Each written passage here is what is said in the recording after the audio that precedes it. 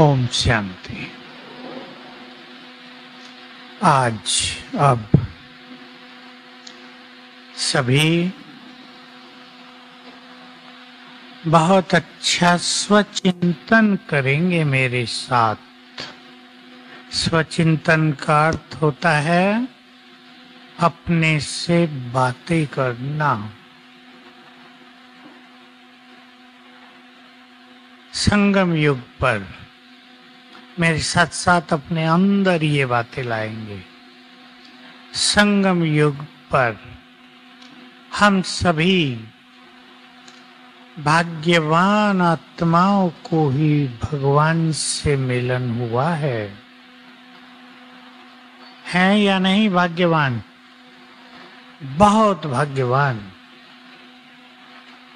हम अपने को कम जानते हैं बाबा हमें संपूर्ण रूप से जानते हैं, याद दिलाते हैं। तुम वही हो जिनकी मंदिरों में पूजा हो रही है। हैं या नहीं? जिनके दर्शन करके ही क्या क्या हो जाता है? भक्ति में होता रहा। केवल भावना की बात नहीं, कल्पना की बात नहीं, होता रहा, अब भी होता है। अगर भक्ति में कुछ भी न होता तो भक्ति चलती नहीं।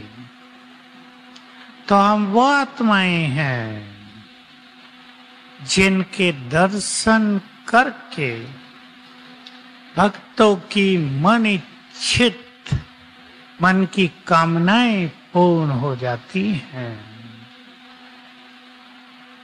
अब मुझे सोचना है, इतना सुंदर भाग्य मुझे मिला है, सुंदर समय मिला है। न जाने ये समय कब समाप्त होने लगे। फाइनल विनाश की बात छोड़ो। ऐसा समय होगा जैसे कोरोना में हुआ कि कोई चाहते हुए भी कुछ नहीं कर पाएगा। और सबने देखा कि जिनका लंबे समय का अच्छा अभ्यास था, वो तो अच्छा पुरुषार्थ कर पाए। और जिनका अच्छा अभ्यास नहीं था, वो फेल हुए, बोर हो गए, डिप्रेशन हो गया, व्यर्थ चिंतन बढ़ गया। मैंने आपको बताई एक बात, कोरोना में, इस सारे संसार में भय बहुत बढ़ा है, डर। दिल्ली में तो जाता मान्यता थी कि कोरोना से लोग कम मर रहे हैं, डर से ज़्यादा। डॉक्टर बताते ज्ञान वाले, हमारे सामने से रोज बीस डेड बॉडी जाती थी। वो भी बंधे हुए भूत जैसे। रोज भय बढ़ता जाता था। और भय में मनुष्य यही सोचता है, कहीं मेरे साथ भी ये ना हो जाए। फिर मेरे बच्चों का परिवार का क्या होगा? डर बढ़ता गया। हमें समय से पहले ही श्रेष्ठ पुरुषार्थ कर लेना है। अपने से बात करेंगे। एक सुंदर चिंतन मैं आप सबको दे रहा हूँ। मेरा संगम युग कैसे बीत रहा है? देखो, सभी अपने पे दृष्टि डालो। भाग्य बनाते हुए या व्यर्थ चिंतन करते हुए। भगवान के काम आते हुए या लौकिक में उलझे हुए? याद करेंगे वो लोग जो लौकिक में उलझे रहे, भगवान को पाकर भी जब समय आएगा और जब उन्हें लगेगा कि पैसा साथ नहीं दे रहा है, अपने भी साथ नहीं दे रहे हैं देखा कोरोना में या नहीं, अपनों का हाल? कोरोना हो गया तो अपनी पत्नी भी मिलने नहीं जाती थी। मुझे हो गया तो प्यार भी था और डर भी। एक ऐसी स्थिति, परिस्थिति संसार में हो गई कि बाप ने जिनके लिए सर्वस्व कर दिया, सकते थे। किसी कारण आत्माएँ भटक गई हैं, जन्म नहीं मिला। क्योंकि अंतिम गति अच्छी नहीं हुई। मोह में तड़फते हुए, न जाने क्या क्या सोचते हुए दही छोड़ा। तो हम चिंतन करेंगे। मैं अपने संगम युग के अनमोल क्षणों को कैसे बिताऊं? क्या अच्छे से अच्छा करूँ? करना है या नहीं अच्छे से अच्छा? ये भाग्य बनाने का समय कल्प में एक बार ही आता है, या दो बार? केवल एक बार। इसको भी अगर बिता दिया तो हाथ कुछ भी नहीं लगेगा। मैं आपको विनाश काल की बात कहूँ, एक बात हो डराने के लिए नहीं। कोई भी मेरी बात सुन के डरना नहीं। जो होने जा रहा है, उसकी एक झलक शहर के शहर धरती में समा जाएँगे। पता ही नहीं चलेगा कहाँ चले गए ऊपर पानी। इसलिए अपनी अविनाशी कमाई बहुत अच्छी कर लेनी है। मैं बाबा का एक महावाक्य बहनों को भी और भाइयों को भी याद दिला देता हूँ। ये भगवान के महावाक्य हैं। संपूर्ण सत्य हैं या नहीं? या कुछ संशय की गुंजाइश है कि बाबा तो ऐसे ही कह देता है। बाबा ने कहा जिनके पास ज्ञान, धन, बहुत होगा। लिख लो। जिनके पास ज्ञान, धन, बहुत होगा, उन्हें स्थूल धन कमाने में मेहनत नहीं लगेगी। अगर स्थिति श्रेष्ठ होगी अगर बाबा का साथ होगा तो धन स्वतः ही आ जाएगा, सहज प्राप्त होगा। स्थिति अच्छी नहीं, धन आ भी जाए तो धन का सुख नहीं मिलेगा। इसलिए कई लोग ऐसा सोचते हैं, जीवन में एक बैलेंस रखो भाई थोड़ी थोड़ी सेवा ज़्यादा ज़्यादा काम अपना। नहीं तो लोग कहेंगे, इन्होंने तो लौकिक को ही छोड़ दिया। छोड़ना नहीं है। लेकिन एक अच्छा बैलेंस लाना, ये बैलेंस नहीं। बाबा के कार्यों में सहयोग देने का सुंदर समय है। बाबा ने कई बार इशारों में कही एक बात। बाबा अगर तो इस धरा पर स्वर्ग एक सेकंड में आ जाए, ये वर्तमान का कलयुग लोप हो जाए। लेकिन बाबा ऐसा नहीं करता। वो अपने बच्चों का भाग्य बनाने के लिए उनकी मदद लेता है। उसको ज़रूरत नहीं है। वो चाहे तो हीरो की बरसात करा दे इस हॉल में। छत को तोड़ के हीरे हीरे भर जाए नीचे। लेकिन वो ऐसा भी नहीं करता। हमने देखा, हम भी सोचा करते थे, सब सोचते हैं। जब बाबा ने यज्ञ रचा, जब सेवाएँ शुरू हुई, बावन तिरपन में तो कोई भी पैसे वाला यज्ञ में नहीं आया। गरीब लोग एक एक रुपया पाँच पाँच रुपया देने वाले। उनसे ही यज्ञ चला। जब हम यज्ञ में आए, तब भी ऐसा ही था। दस रुपए देने वाले। सौ अगर किसी ने दे दिए तो वो तो बड़ा आदमी हो गया।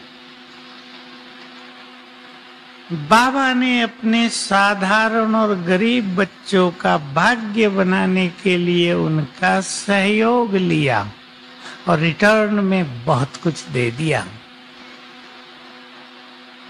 इसलिए न तो किसी को मैं पन आना चाहिए और एक सुंदर बैलेंस की ज़रूरत है जीवन में। लौकिक में स्वयं को बहुत उलझा भी नहीं देना है। अविनाशी कमाई भी बहुत करनी चाहिए। करनी चाहिए या नहीं? भाई लोग हाथ उठाओ जो ऐसा सोचते हैं। करनी चाहिए ना? मैं कोरोना के अनुभव से आपको कह रहा हूँ लोगों के। हमारे पास ही अहमदाबाद और सूरत में एक एक शहर में एक एक लाख व्यक्ति गए। कोरोना में। एक एक लाख। संख्या तो पाँच सात हज़ार ही दिखाई जाती थी, पर गए एक एक लाख। उसमें बाबा के बच्चे भी थे। जाना तो सबको है, जिसका समय आ गया, ये नहीं कि बाबा के बच्चे नहीं जाएँगे, वो तो जाएँगे। लेकिन किसने कैसी स्थिति बनाई? एक परिवार की बात सुनाता हूँ। उनके पास लगभग सौ करोड़ की संपदा, चार भाई। चारों में झगड़ा था। हर एक सोचता था, मुझे ज़्यादा मिले। अच्छी तरह झगड़ा था। पड़ोसियों को, रिश्तेदारों को, समाज को सबको पता चल गया था। उनमें से दो को कोरोना हो गया। उनका एक रिलेटिव ज्ञान में है, अहमदाबाद की बात। है उसने गीता बहन की एक छोटी सी क्लास पुण्य कर्म उनको भेज दी। वो घर में ही थे, हॉस्पिटल में नहीं गए थे। वो सुनते रहे। उसमें एक लाइन थी सब धरा का धरा रह जाएगा। आप देख चुके हैं गीता बहन के बोल में कितना प्रभाव है। अब ये सुनते ही उनमें जागृति आ गई। चारों ने एक दूसरे को फ़ोन किया, अरे, हम बिना मतलब लड़ रहे हैं पच्चीस पच्चीस करोड़ बांट के सुखी हो जाओ ना। झगड़े खत्म हो गए। सच्ची घटना है। तो धन ही सब कुछ कर देगा, ऐसा नहीं। एक परिवार था, विदेश से आए थे। स्त्री पुरुष दोनों फैक्ट्री लगाई हुई थी। अच्छा पैसा, दोनों को कोरोना हुआ, दोनों ही चले गए। सारी धन संपदा रह गई। बड़ा मकान विदेश से आए थे, बहुत सुंदर मकान बना था, सब रह गया। इधर उधर के लोग ले गए, मार गए सब। इसलिए ऐसी ऐसी घटनाएँ सृष्टि पर होनी हैं, जिनके बारे में सोचकर हमें ये सोचना है कि हमें ईश्वरीय शक्तियाँ, ईश्वरीय खजाने जमा करने हैं। सब विचार करो। कुछ बहनें मेरे पास आई भाई विदेश जाना चाहते हैं, जाए या नहीं जाए? अब देखो, मैं तो पहले तो अच्छी तरह देखता हूँ, मेरे पास बहुत आते हैं गुजरात के लोग तो वहाँ तो गुजरात में तो कुछ शहर ऐसे हैं जिसके घर घर से विदेश में लोग गए हुए पंजाब से बहुत लोग, कनाडा में गुजरात के कितने लाख लोग, अमेरिका में। वहाँ तो एक क्रेज रहता है अमेरिका जाएँ। गरीब भी जाते हैं ठीक ठाक मेहनत करके अपना अच्छा जीवन जीते हैं, वो सब ठीक है। लेकिन मैंने कहा उन बहन को भी और सबको कहता हूँ, जो भी विदेश में जाए जाए। लेकिन ये ना सोचे फिर भाग के यहाँ आना है। विनाश होने लगा भागो भारत में। ये नहीं वहाँ जाना है तो जाके बस जाओ, मौज करो। भाग दौड़ नहीं। अब तो आप सबने देखा, मोदी जी ने कितना बड़ा काम कर लिया यूक्रेन से। बीस हज़ार विद्यार्थियों को निकाल दिया छोटा काम नहीं था। पाकिस्तानी बच्चे भी निकल गए, झंडा लेके। और कई जगह के निकल आए। लेकिन सदा ऐसा नहीं हो पाएगा। इसलिए अपनी स्पिरिचुअल पावर अपनी रूहानी शक्ति हमें बहुत मदद करेगी। भाई, पंखे वाले कहाँ चले गए? पंखों को ठीक कर दो जरा। मेरे को हवा कोई नहीं आ रही। बोलने में जरा गर्मी लगती है। आपको भी लगती होगी, मैं सोच रहा हूँ। मुझे ही लग रही तो इनको कितनी लगती होगी? थोड़ा दूर रख के चला दो। आवाज़ कम करे।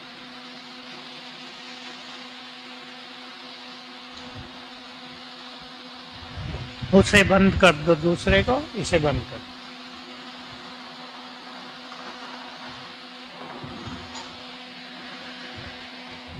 तो सभी चिंतन करेंगे। कर रहे हैं? चिंतन करके एक सहज और सुंदर प्लानिंग कर लो पुरुषार्थ की। सबको ये अच्छे तरह मालूम हो। इस टाइम भाग्य बन रहा है पूरे कल्प का। अब ध्यान से सुन लेना, किसी भी जन्म में सहज सफलता हो, एक जन्म में सफलता हज़ार बार लेनी होती है, एक बार नहीं। रोज सफलता की ज़रूरत पड़ती है। सफलता का वरदान यहाँ ले लें। किसी भी जन्म में धन की कमी न हो। सत्युग त्रेता द्वापुर, तीनों युग तक हम सब के भंडारे भरपूर रहेंगे। कलयुग में भी हमें कोई कमी न पड़े। ऐसा ज्ञान धन ज्ञान धन का दान ज्ञान धन में भरपूर होने का पुरुषार्थ कर लें। जिसने संगम युग पर सर्व शक्तियाँ जमा कर ली होंगी, ध्यान से सुन लेना, सारी शक्तियाँ, उसे जन्म जन्म सत्ता प्राप्त होगी। बाबा ने बता दिया है कभी सारे में, तुम्हारा राज्य त्रेता युग तक समाप्त नहीं हो जाता। वो चलता ही आता है। कभी बड़े राज्य के राजा, कभी छोटे राज्य के राजा।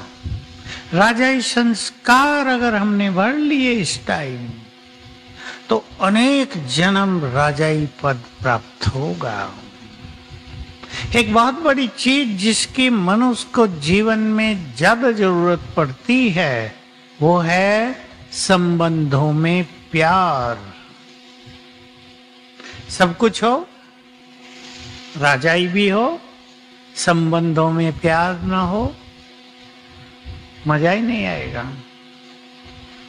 इतिहास में सबसे बड़ा उदाहरण है, महाराणाओं का, राजाओं का तो बहुत है। चार बच्चे हैं, चारों लड़ रहे हैं राजाई के लिए। शाहजहां का उस सबसे बड़ा है। सुना है शाहजहां का नाम? चार लड़के थे। दारा को बड़ा था राज्य उसे मिलना था। लेकिन औरंगज़ेब चालाक था। लड़ाई शुरू कर दी। तो देखो, बदनामी हुई ना इतिहास में। और औरंगज़ेब के सत्ता पर बैठने के बाद जब उसकी समाप्ति हुई तो मुगल वंश नष्ट होने की तरफ़ बढ़ गया, नष्ट हो गया। तो संबंधों में प्यार बहुत बड़ी चीज़ है। ठीक है, माताएँ समझती है ना? चार बच्चे हों, चारों लड़ते हों, माँ को भी कैसा लगता है? संबंधों में प्यार हो, इसके लिए बोलो, क्या शब्द है? बीज कौन सा है? किसी को नहीं आएगा? जो संगम युग पर परमात्म प्यार में मगन होने का अभ्यास करेंगे, जन्म जन्म संबंधों में उन्हें प्यार प्राप्त होगा। एक एक चीज़ का बहुत गहरा नाता है, जो आत्माएँ संगम युग के समय को सफल करेंगे। ध्यान से सुन लेंगे सभी। जो आत्माएँ संगम युग के समय को सफल करेंगे, समय हर कदम पर उन्हें सफलता प्रदान कराएगा। जो समय को नष्ट करेंगे, समय समय पर उन्हें धोखा दे देगा। बहुत सुनाते हैं, इस सभा में भी मुझे सुनाया। एक नंबर से रह जाते हैं जो मिलते मिलते। आधे आधे नंबर से कन्याएँ रही अच्छी जो मिलते मिलते। कोई इसमें निराश ना हो ना जो यहाँ बैठे हो। हमें संगम युग के समय को सफल करना है। ये बुद्धिमत्ता है बहुत बड़ी। कि हम इस अनमोल समय को सफल करें। बाबा ने तो बहुत गहरी बात बताई हुई है। कम लोग उस पर चिंतन करते हैं, पर मेरी वो बहुत प्रिय बात रही। सुन ले आप ध्यान से, तुम्हारा एक एक मिनट एक एक साल के बराबर है। सुना है? बहुतों को याद होगा। तुम्हारा एक एक सेकंड बहुत मूल्यवान है और तुम्हारा एक एक संकल्प बहुत महान है। ये गहरे चिंतन वालों के लिए बात है। तो हमारा समय बातों में तो नहीं बीत रहा, क्योंकि अगर हम बाबा की सेवा भी करना चाहते हैं तो हमारे पास ये अलौकिक शक्तियाँ होनी ही चाहिए। तो कोई ये ना सोच ले कि ज्ञान योग में ज़्यादा लगेंगे तो लौकिक धंधे पर ध्यान नहीं देंगे, बंद हो जाएगा, हम लोस में आ जाएँगे, क्या करेंगे? ये सोचना गलत है। अलौकिक स्थिति श्रेष्ठ होगी, धंधे फ़र्स्ट क्लास चलेंगे, सहज सफल होंगे, सहयोगी मिलते जाएँगे। मेरे पास बहुत लोग आया करते हैं ऐसे। हमारा धंधा बहुत बड़ा है। और खोलने की इच्छा है, पर बाबा कहते हैं, अब समेट लो। खोले या ना खोले? बताओ, क्या विचार है? खोले या ना खोले? लेकिन उनको अवसर होता है। चार फैक्ट्री और खोल दें। मैं उनका सब कुछ देख कर उन्हें बता देता हूँ कि आपको ये सीख लेना है कि सब कार्य कराते हुए भी स्वयं फ्री कैसे रहें। खोल दो चार और चार में चार हज़ार लोगों को नौकरियाँ मिलेंगी, उनके परिवार पलेंगे। लेकिन ऐसे मैनेजर, जनरल मैनेजर रख लो जो तुम्हें निश्चिंत करें। कर लेते हैं वो। तो काम धंधे बढ़ाने में हट जाना ही। लेकिन उसमें उलझने से अगर हमने ये अलौकिक जीवन उलझनों में लगा दिया तो वो धंधे, वो धन काम नहीं आएगा। इसलिए बाबा की सेवाओं पर अच्छा ध्यान देना चाहिए। ये नहीं ज़्यादा योग करेंगे तो लौकिक कार्य बिगड़ जाएँगे। बिल्कुल गलत मान्यता किसी किसी की होती है।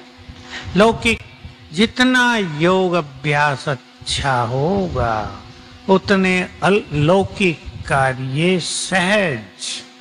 सुचारू रूप से, बिना विघ्नों के, बिना झंझटों के सफल होंगे। तो सभी, अपने पुरुषार्थ का सुंदर प्लान बनाना। मैं एक सुंदर प्लानिंग दे रहा हूँ दस मिनट में। लिख लेंगे सभी। ये प्लानिंग बहुत सहज है। कुछ भी कठिनता नहीं, सहज पुरुषार्थ। जितने, पहले तो ये लिखने की ज़रूरत नहीं, मैं बताऊँगा जब लिखना है। जितने तरह के कर्म आप सारा दिन में करते हैं, घर में बैठ के करना ये, उनकी एक लिस्ट बना लो। कम से कम सोलह तरह के काम। कुछ काम शरीर के होते अपने। नहाना, धोना, खाना, पीना, कपड़े बदलना, तैयार होना, कुछ काम दूसरे होते हैं, घरों में माताओं को भोजन बनाना, खिलाना, सफ़ाई, धुलाई, घर की देखभाल, जो जॉब में है, उनके अपने काम, जो बिज़नेस में है, उनके अपने काम। एक लिस्ट बनाओ। मैं जब ये पुरुषार्थ किया, इसको बहुत साल हो गए, चालीस साल हो गए। मैंने अपने कर्मों की लिस्ट बनाई पैंतीस, जिसमें छोटे छोटे काम भी थे। और करना क्या है? एक कर्म में एक अभ्यास निश्चित कर दो। मैं आपको हँसी का छोटा सा अभ्यास बताता हूँ। मैंने सोचा ब्रश करने में भी तो दो तीन मिनट लग ही जाते हैं ना? क्यों न पाँच बार मैं संकल्प कर लू? मैं एक महान आत्मा हूँ। कुछ मेहनत है इसमें? बिल्कुल नहीं। ऐसे भिन्न भिन्न कर्मों में भिन्न भिन्न अभ्यास जोड़ लो पहले से ही। अब आप लिख लो। मैं आपको कुछ अभ्यास बता रहा हूँ। बिल्कुल सहज। जो आपको कर्मों में कर लेने, सभी लिख लो, ताकि बिल्कुल कर्मों में सहज अभ्यास होता रहे टाइम देना नहीं पड़े, स्थिति अच्छी रहे काम धंधे अच्छे चलेंगे और आपके घरों का माहौल अलौकिक हो जाएगा। पानी पीते हुए, दो तीन बार याद कर लेना है। मैं परम पवित्र आत्मा हूँ। सहज काम, कई बार पानी पीना ही है। पानी गिलास, पानी का गिलास हाथ में आया, याद कर लिया मैं परम पवित्र आत्मा हूँ, या मैं पवित्रता का फरिश्ता हूँ। यह और अच्छा संकल्प है। मैं पवित्रता का फरिश्ता हूँ। और अच्छा संकल्प है जो कल मैंने सब माताओं को बताया था। मैं इस घर की इष्ट देवी हूँ। अब यहाँ दूसरा कर लो। मैं पवित्रता की देवी हूँ। नहाते धोते सभी को अभ्यास करना है। बाबा ने सिखाया था सेवेंटी नाइन में। मेरा मंदिर है। मैं आत्मा हूँ।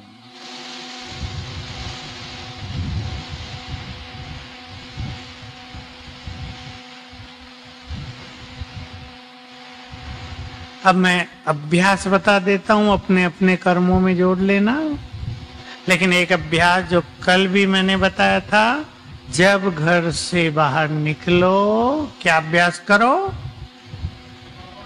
बाबा का आह्वान। उसे ज़रूर लिख लो। उसको तो नेचर बना दो अपनी।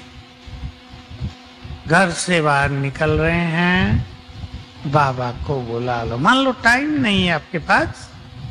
दो चार आपके मेहमान हैं और आप घर से निकल रहे हैं ना। निकलते निकलते ही अभ्यास कर दो, बाबा, आ जाओ। बस इतना ही बहुत है। जुड़े रहेंगे बाबा से।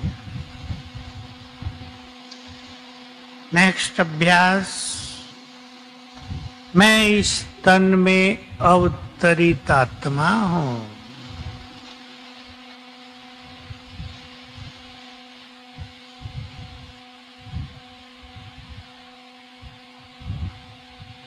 इसे कोई रटने की बात नहीं। दो बार भी अगर दिन में इसको याद कर लिया जाए, देखो कैसे बाबा जब साकार में थे तो ये अभ्यास कराते थे। जैसे मैं परमधाम से ब्रह्मा तन में आया हूँ, तुम भी अभ्यास करो। मैं आत्मा भी परम धाम से इस तन में आकर बैठ गई हूँ। यह है अवतरित आत्मा का अभ्यास।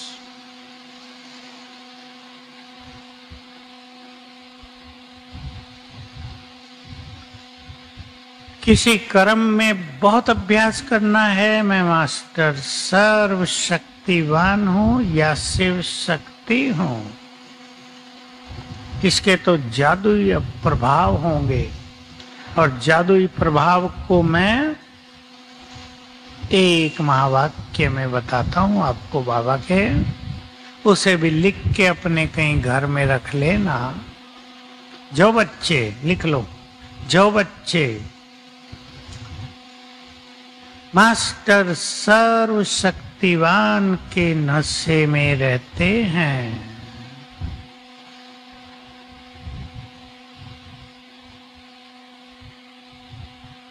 उनके पास विघ्न और समस्याएँ आ नहीं सकती।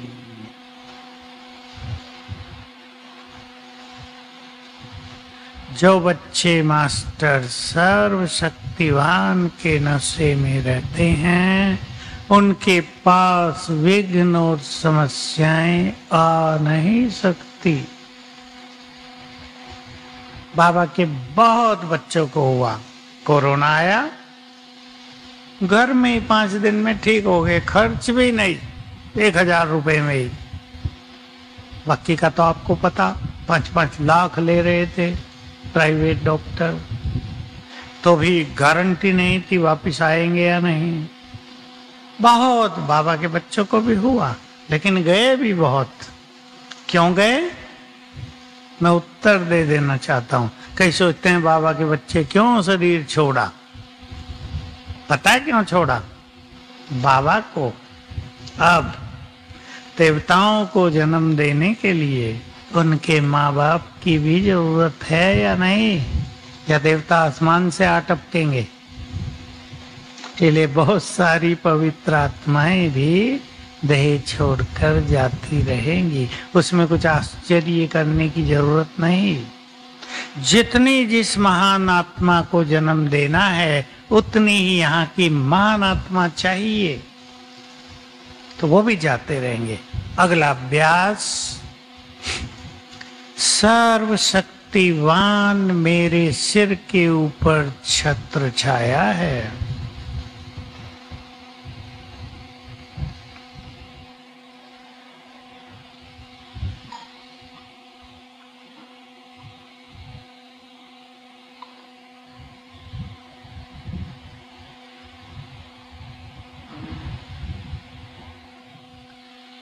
एक बहुत अच्छा अभ्यास, योग का अगला अभ्यास। मैं मास्टर ज्ञान सूर्य हूँ। केवल अकेला अभ्यास करेंगे कभी कभी अपने काम में।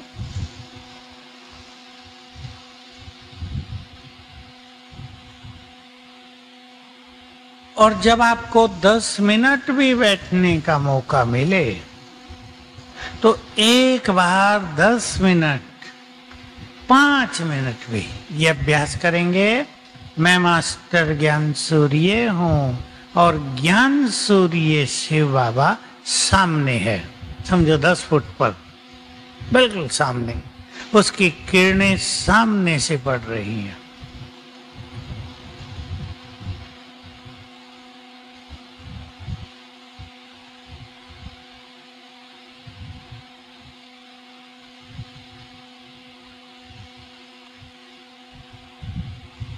किसी कर्म में केवल ये नशा रखेंगे। कल से हम बात कर रहे हैं, बाबा सर्वशक्तिवान भगवान मेरे साथ है। इस संकल्प से ही उसके साथ का अनुभव होगा।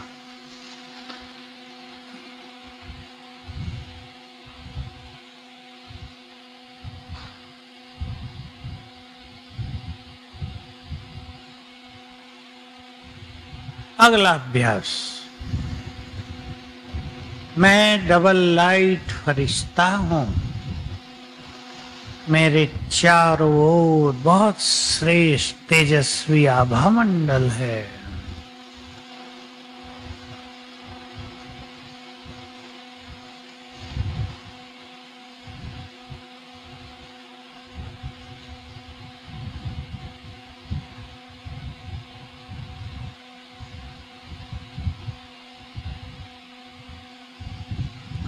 कभी अभ्यास करेंगे। चलते फिरते भी सहज भाव से बाबा की किरणें पड़ रही हैं। सर्वशक्तिवान की किरणों का फाउंटेन पड़ रहा है।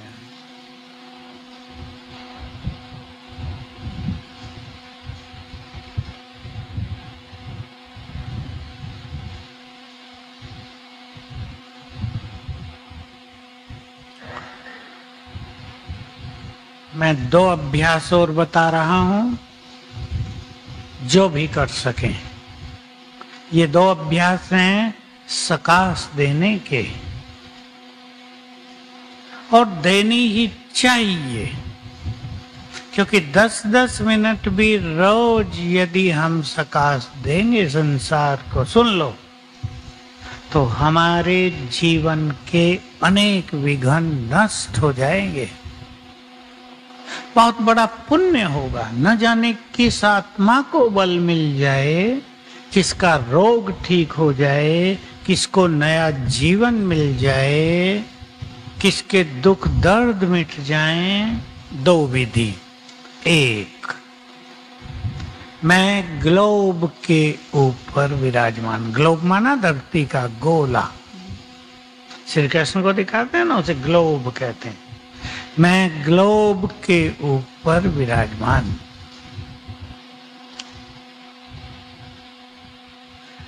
बाबा की किरणें मुझ पर पड़ रही हैं। कुछ देर लेंगे, किरणें पड़ रही। एक मिनट। फिर दस सेकंड मुझसे चार ओर फैल। अंग अंग से फैल रही हैं, आत्मा से फैल रही, नैनों से फैल रही, मस्तक से। किरणें फैल रही हैं। फिर एक मिनट लेंगे, दस सेकंड फैलाएँगे। सबसे पावरफुल योग अभ्यास भी है और सकाश देने की विधि भी है। एक और योग अभ्यास, सकाश देने की विधि। थोड़ी बड़ी है, लेकिन सरल है। मैं पवित्रता का फरिश्ता, प्रकृति का मालिक हूँ।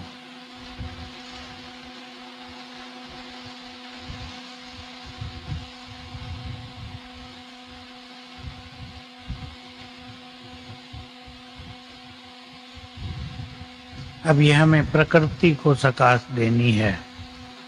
जो कर सकें वो ये करना, मैं आकाश में हूँ। जो ना कर सकें यही हूँ।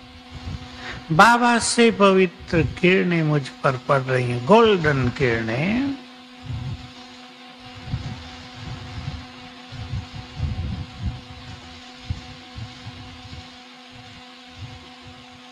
और मुझसे चारों ओर फैल रही हैं, प्रकृति उनको समा रही है।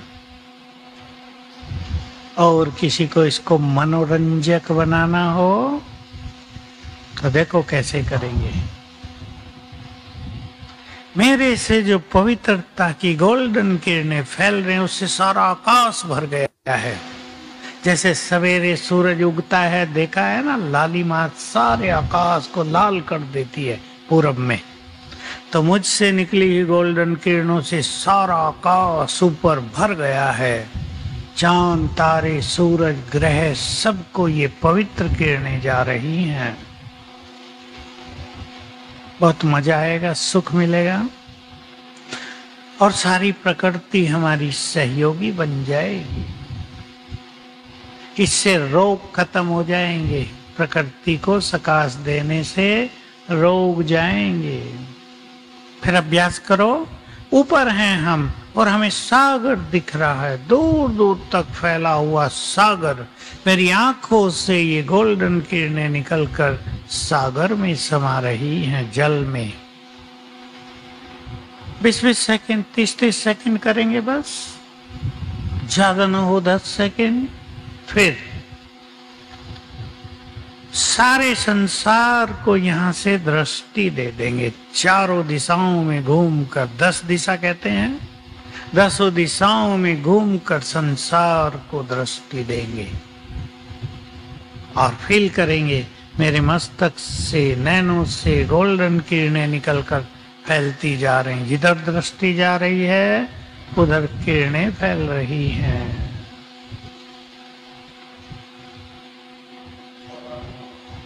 अपने को बहुत आनंद आ जाएगा। एक काम और करेंगे। इसलिए मैंने इस अभ्यास के लिए कहा, जो बहुत बुद्धिमान हैं, योग अच्छा करते हैं, वो तो ज़रूर करेंगे। मैं आकाश में हूँ फरिश्ता। सारा संसार मुझे दिखता है। देव कुल की आत्माओं को बुलाएँगे, आह्वान करेंगे। हे देव कुल की आत्माओं, जहाँ भी संसार में फैल गई हो, आ जाओ। तुम्हारा शिव बाबा तुमसे मिलने आ गया है, आ जाओ। वो तुम्हें फिर से देवता बनाने आ गया है, आ जाओ। जिसे तुम ढूंढ रहे थे वो तुम्हें तुमसे मिलने आ गया है। आ जाओ। आवाज़ दे रहे हैं जैसे मन से। आपकी आवाज़ उनको पहुँच जाएगी। हर जगह जहाँ से भी आप आए हों, उस एरिया की देवकुल की आत्माओं का आह्वान करना। उन नाव वाले यहाँ जो टाउन या गाँव से आए हैं, वो अपनी जगह आपकी सेवाएँ बहुत बढ़ने लगेंगी। ये कुछ अभ्यास हैं। छोटे छोटे अभ्यास भी किसी कर्म में। मैं आत्मा हूँ, केवल आँखों से देख रही हूँ। छोटा सा अभ्यास। मैं आत्मा हूँ, ये शरीर मुझसे अलग है। मैंने ऐसे अनेक शरीर लिए हैं, छोड़े हैं, कभी भी। आपको कहीं जाना यात्रा में? बाइक पे जा रहे हैं बस में बैठे हैं। मैं लाइट हाउस माइट हाउस फरिश्ता हूँ। लाइट फैलती जा रही है। हम चल रहे हैं। लाइट फैलाते हुए जा रहे हैं। कभी मैं सारे बता देता हूँ जिसको जो हो जाए। कभी मैं आत्मा परम धाम में बाबा के पास हूँ। सबसे पावरफुल अभ्यास है ये। मैं आत्मा परम धाम में बाबा के पास हूँ। ये कुछ अभ्यास हैं। और भी मूल्यों से मिलते रहेंगे आपको।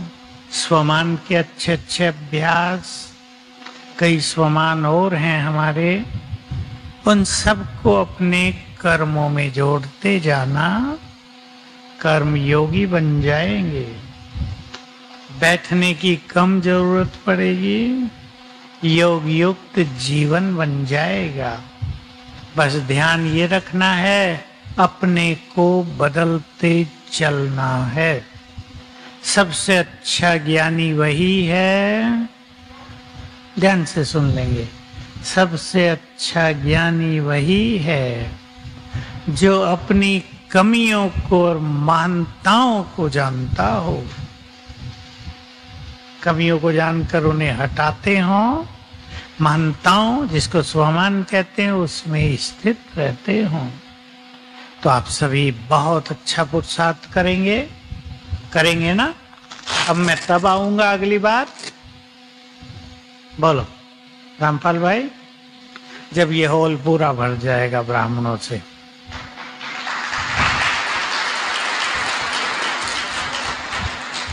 और मुझे विश्वास है। कुसुम बहन, कितने दिनों में? एक साल? वाह। आपके मुख में गुलाब या गुलाब जामुन? भर जाएगा भर जाएगा। सेवाओं की तो सुनामी आने वाली है। हो सकता है आपको एक और बड़ा हॉल बनाना पड़े। जगह तो जैसे ये मिली है। जगह मिलती रहेंगी, सहयोगी बनते रहेंगे लोग, देने वाले आपे ही आते रहेंगे। इसलिए अपनी स्थिति से देवकुल की आत्माओं का आह्वान करना, लेकिन अपनी स्थिति को ऐसा बनाना कि हमारे वाइब्रेशन से दूसरों का कल्याण होने लगे। ओम शांति।